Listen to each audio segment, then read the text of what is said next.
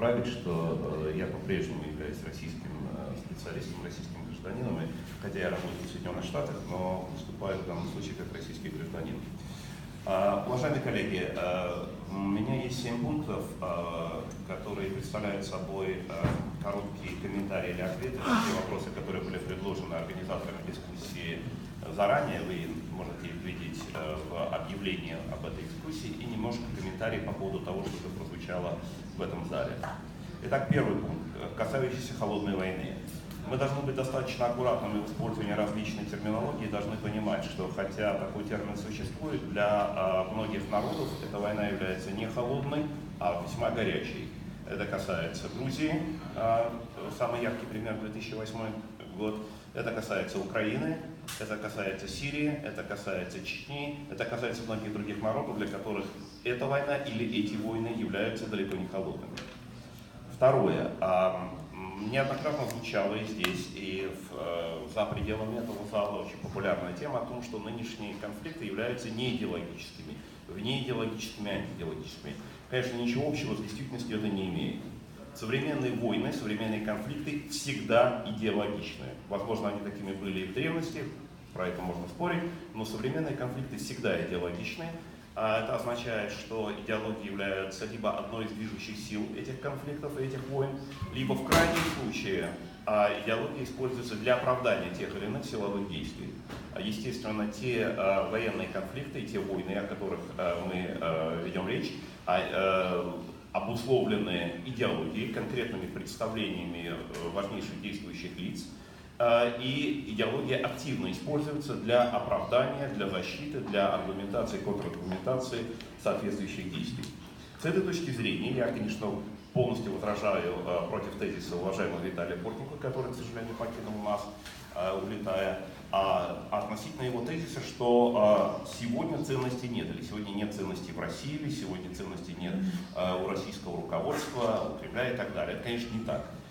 Ценности есть, и мы об этом узнали из скандала о панамских офшорах.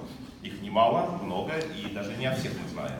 Вот. Но если э, говорить даже не об этих ценностях, э, а о ценностях э, вот, идейных, идеологических, психологических, конечно, они есть, но они другие, они отличаются от тех ценностей, про которые говорил Виталий, и про которые он думает, что э, вся Украина или значительная часть Украины их разделяет. Э, по крайней мере, он так надеется. Э, но вот для иллюстрации того, э, каким ценности, какие ценности разделяют или могут разделять, значит, разделяет значительная часть даже не только Кремля, а российского населения. Приведу один пример, один из любимых примеров, который э, приводит Левада-центр э, значит, по результатам своих э, опросов общественного мнения в России. Это было года полтора тому назад. Левада-центр спрашивал а, российских граждан, а, находятся ли российские войска на Донбассе, и предлагал разные варианты ответа. А, так вот, если память не изменяет, по-моему, 28% а, опрошенных поддержали следующий вариант ответа. Даже если российских войск на Донбассе нет, российские власти действуют абсолютно правильно, отрицая, что они там находятся. Вот внимательно подумайте об вот этой формулировке. И имеет, следует иметь в виду, что это не 3% поддержало, не 5%, то есть в рамках статистической погрешности, а значительная часть населения, более четверти, почти треть, а, стойко поддержала позицию, которую, э, значит, если выводить ее на академический уровень, можно было бы назвать вот, не социализмом, в чем часто Владимир Путин и Кремль современные обвиняют, а сицилизм. Ну, есть такой остров в Средиземном море, Сицилия. Вот, она, и там есть люди, которые в течение последнего времени тоже хорошо зарекомендовали себя, стали известными, сицилийцы. Вот. Есть особая идеология, есть определенные моральные нормы, и в частности, вот, э, как бы отражением этих норм является вот та самая позиция, которую заняла э, ну, более четверти э, отброшенных э, в э, значит, вопросе Левада-центра. Поэтому э, ценности существуют, э, идеология существует, только она другая. И поэтому наша задача заключается в том, чтобы понять, какие это ценности, какая это идеология и как э, действует в данном случае э, Кремль, российские власти, исходя в том числе и прежде всего, как мы видим, из той идеологии тех ценностей, которые они разделяют. А, на этом фоне я хотел бы сказать, что проблема довольно существенная, поскольку там тоже такой есть вопрос. Было сказано, вот отказ, вот это, почему важна еще эта идеология, потому что э, э, действие, осуществление этой идеологии происходит э, сейчас, по крайней мере, последние э, уже 9 лет, на фоне отсутствия э, реального противодействия со стороны э, крупнейшей, важнейшей, сильнейшей державы современного мира Соединенных Штатов Америки. Вот очень многие говорят о том, что э, значит, там конфликт, сопротивление и так далее. Как раз вот, э, до недавнего времени такого реального э, конфликта и сопротивления не было видно.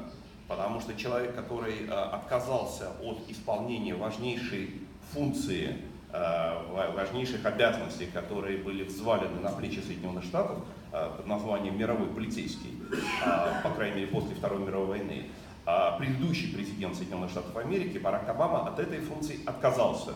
Отказался публично, отказался демонстративно, неоднократно э, говоря об этом и подтверждая э, свою позицию своими действиями. Если бы э, администрация Соединенных Штатов под руководством Обамы э, хотя бы исполняла вот эти обязанности мирового полицейского в той ничтожной степени, в какой это исполнял, например, э, Буш-младший, смогший остановить российскую агрессию против Грузии на пятый день, значит, направив американский флот в Черное море, а американские воздушные силы на военно-воздушные базы в Турции и Румынии, то тогда бы агрессия против Украины с оккупацией, захватом, аннексией Крыма закончилась бы тоже, может быть, на пятый день.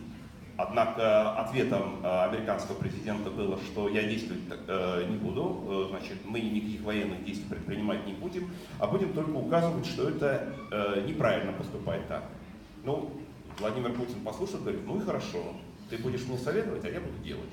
Ну и дальше произошло все то, что произошло. Поэтому, с одной стороны, мы должны понимать, что 10 тысяч погибших украинцев в Украине Э, аннексированный Крым и война на Донбассе четвертый год, это не только результат агрессивной идеологии, которую проповедует э, руководитель э, Кремля сегодня, но и отказ от тех функций, от тех обязанностей, которые так или иначе были взяты и э, использовались, осуществлялись э, американской администрацией и под руководством Соединенных Штатов Америки э, как угодно Западом, свободным миром, как угодно в течение нескольких десятилетий. Эм, значит, а что касается нынешней администрации, то она отвечает за высокой степенью дисфункциональности, как мы все видим, и поэтому пока мы не видим ни э, какой-то такой компрехенсив, coherent, такой последовательной э, позиции ни по одному э, международному вопросу, что, так сказать, приводит к тому, что конфликты не решаются, а усугубляются.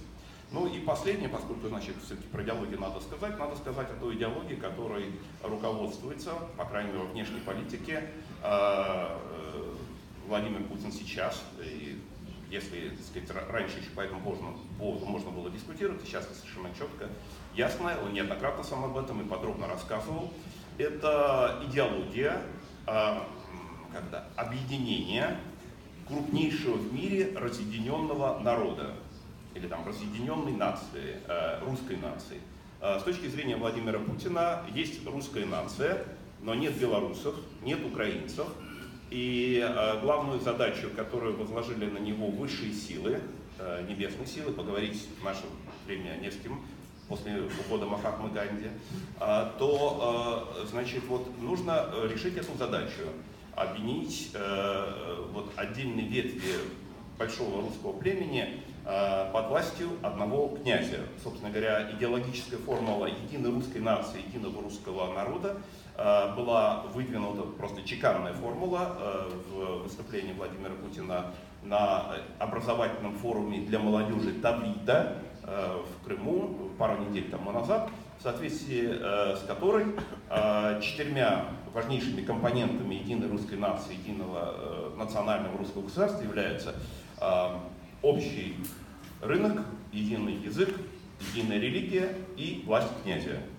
Ну, видимо, одного князя, поскольку э, эта идеология была уже практически применена по отношению и применяется по отношению к Украине, Но на этом, естественно, не заканчивается, остается самый большой, самый достаточно лакомый кусок, вот, братская Беларусь, значит, и вопрос на повестке дня стоит именно таким образом. Как мы все знаем, в ближайшие дни начинаются учения «Запад-2017».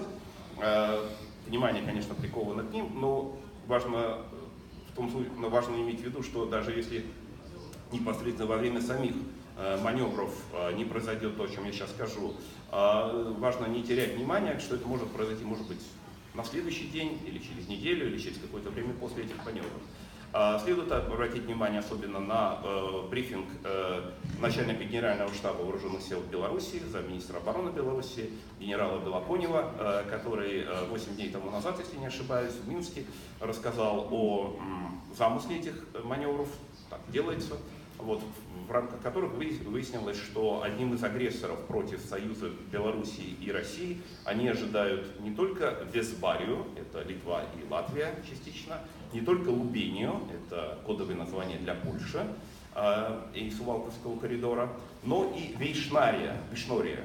Вишнория – это название, которое э, российские и белорусские генералы дали северо-западной части Белоруссии, э, части страны, которая имеет достаточно высокий удельный вес э, э, польского этнического населения, высокий удельный вес католиков, а высокий удельный вес э, белорус, белорусоязычных граждан Белоруссии и те регионы, в которых э, лидер Белорусского народного фронта Зенон Позняк на президентских выборах 1994 года получил максимальное количество голосов.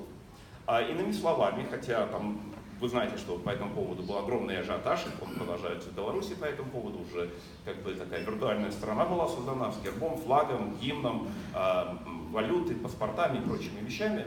Но вот это, э, это пример того, как мы становимся свидетелями очень яркой э, гибридно-информационной операции э, создания, так сказать, квази-государства, которое затем будет объявлено, или районов, которые будут объявлены враждебными, и как это было сделано в случае Украины по отношению к Галиции, и, соответственно, при продолжении пропагандистской кампании понадобится помощь э, другой части Белоруссии, э, православной, русскоязычной, которая э, рискует подвергнуться нападению, агрессии, резне со стороны теперь уже белорусских нацистов, вот из этой самой Вишнории, и тогда на помощь этим белорусам русскоязычным и православным должны прийти либо зеленые человечки, либо трактористы, либо шахтеры, либо местные партизаны, либо кто-то еще. Иными словами, мы видим, как никогда, ни, ни вчера, ни позавчера и ни в будущем, а сегодня на наших глазах разворачивается один из этапов а, вот этой операции по а, объединению с точки зрения а, вот, Владимира Путина разъединенного народа и соединения его а, в одном политическом теле под властью одного князя. Самая большая проблема, это моя последняя, видимо, фраза, заключается в том, что а в нынешней ситуации Беларусь находится исключительно в уязвимом положении, потому что в условиях того авторитарного режима, о котором говорил Андрей, э, возможности для сопротивления такой агрессии несопоставимо меньше, чем в Украине в 2013-2014 годах. Институциональная основа Беларуси очень слабая для такого сопротивления. А, Беларусь не является ни э, союзником, ни даже протосоюзником каких-либо западных структур, и в этом смысле ожидать какой-либо заметной, существенной институализированной помощи, э, даже не военной, а просто какой-либо другой со стороны э, внешнего мира не приходится. И поэтому вот, ситуация в Беларуси является одной из наиболее опасных в ближайшее время. Спасибо. Спасибо.